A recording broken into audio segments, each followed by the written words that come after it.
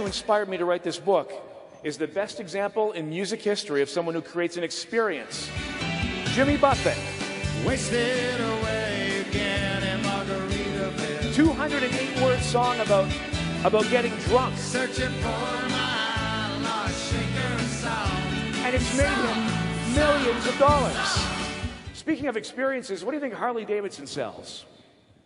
It's not motorbikes. Harley Davidson sells the badass experience. Owning a Harley is like admission into the badass club. And the proof is in the demographics of the average Harley owner.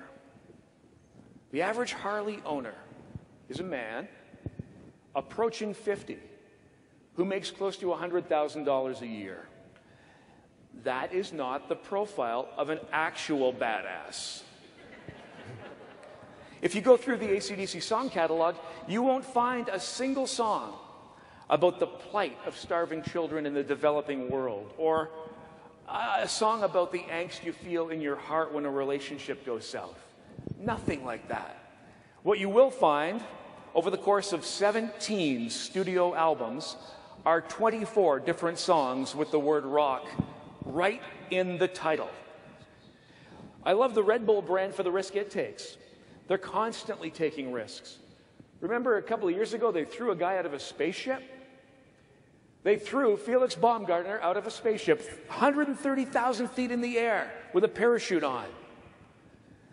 Somewhere there's a guy in legal at Red Bull who went, hmm, okay, why not?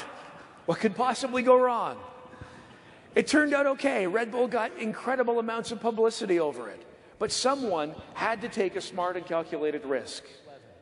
And you remember how Pete Townshend of The Who ends every concert by smashing his guitar to pieces. At 70 years old, he still smashes his guitar at the end of the show. It would be easy to write that off as a stunt, as a gimmick The Who does. But I think it sends an incredible message to the fans in that arena that that night, Pete Townshend played the life out of that guitar.